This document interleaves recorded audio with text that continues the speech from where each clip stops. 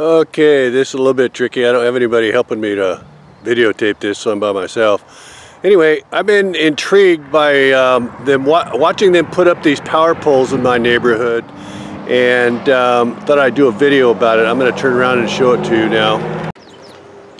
Okay, so I've been watching them uh, build these high tension um, towers and I think it's kind of interesting so I'm going to do a little video of them.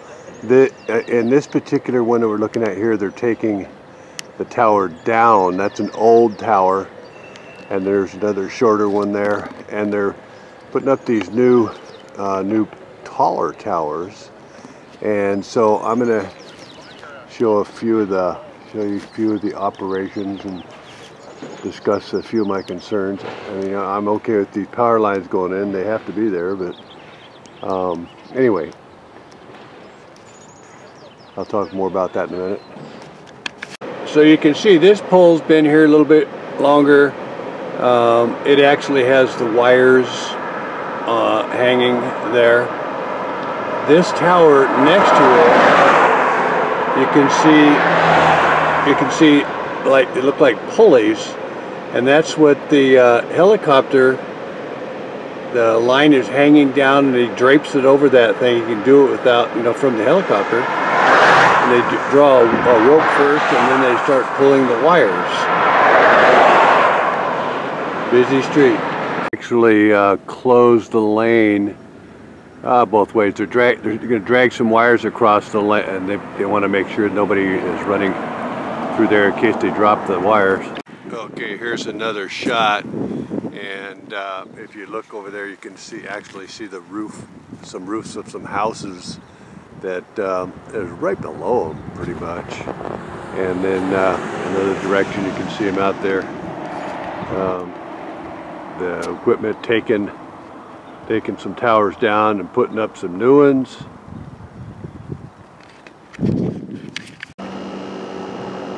So I thought this would be interesting to show how they are using this helicopter to string power lines. They put up a bunch of new poles. They've been working on this for a number of months. Here's uh, some new poles. They got to get those wires up there somehow. So they use this helicopter. If you look close, you can see there's the line. And in this particular case, I think they're taking off some old lines and then they're going to string new lines. You see those concrete pillars they've been putting up, these new towers.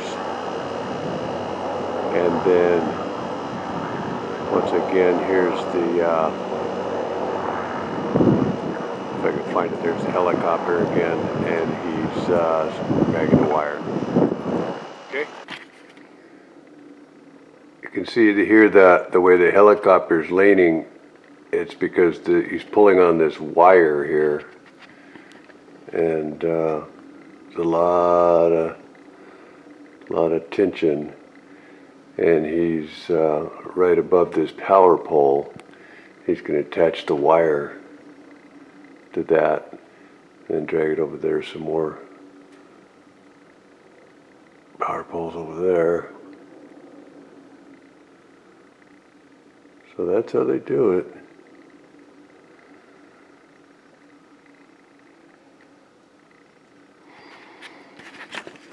Okay, here's another look at these power lines. They're kind of going crazy with uh, installing these things here. And I'm going to go over the other direction. And uh, you can see them going off in there. And look how close these houses are, some of them, to the wires. Uh, I don't think that seems right. But anyway.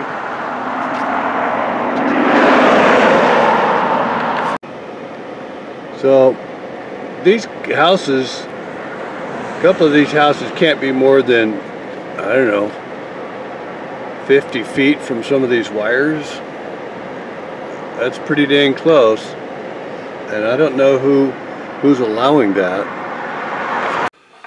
Okay, so I'm going to go ahead and wrap this up. I've been looking at um, well, power poles going up in my neighborhood, and it, I, I got kind of interested in it, so I started watching them put these things together. And then I did some research because I was concerned about how, how close you can build houses to these things. And uh, so I picked up a meter. I got it from Amazon. They have several different meters there. And um, I was wondering, first of all, I looked up what is the safe distance that uh, you can stay away from the EMF, radi EMF radiation from power supplies. That's the uh, electromagnetic field. And there are a lot of different numbers. Some, some pages that I found on the internet said that you should not live within 600 feet of uh, these power lines. Others say 150 meters.